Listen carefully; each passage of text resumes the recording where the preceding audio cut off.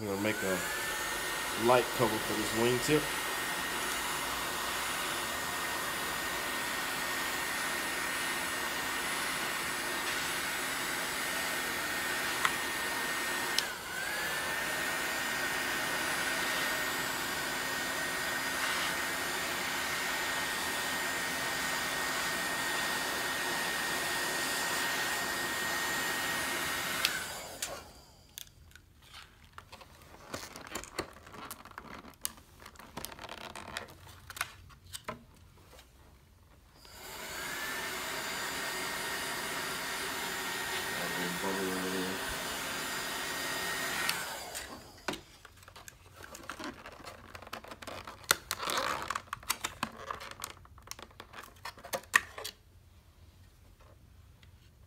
All right, that's pretty much it.